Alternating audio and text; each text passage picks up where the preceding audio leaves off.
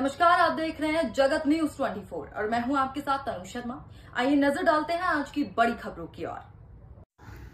बरगवा खदान में युवक की पानी में डूबकर हुई मौत, मौके पर पहुँची रंगनाथ थाना पुलिस बल। प्राप्त जानकारी के अनुसार रंगनाथ थाना अंतर्गत चेतना टावर के समीप स्थित खदान में बाबूलाल कोल पिता भूरा कोल पैंतालीस वर्षीय निवासी वंश स्वरूप वार्ड चंदी की दफाई दुर्गा मंदिर के पास घर से नहाने के लिए कहकर निकला था कि जिसके कुछ देर बाद ही वह नहीं लौटा। तो परिजनों ने खोज खबर की तो चेतना टावर के पास स्थित खदान के पास बाबूलाल की बाइक और पेड़ के पास जूते और खदान के तट पर युवक के कपड़े मिले। इसके बाद परिजनों के द्वारा युवक की खदान में डूबने की आशंका व्यक्त करते हुए संपूर्ण जानकारी पुलिस को दी गई। जानकारी एकत्र कर गोताखोरों की मदद से युवक को खदान के अंदर पानी में खोजने का प्रयास किया जा रहा है। खबर लिखे जाने तक खदान से किसी युवक का शव बरामद नहीं हुआ है। पुलिस पूरे मामले की जाँच कर रही है। देखिए राजेश कुमार तिवारी के साथ मतीन खान की रिपोर्ट।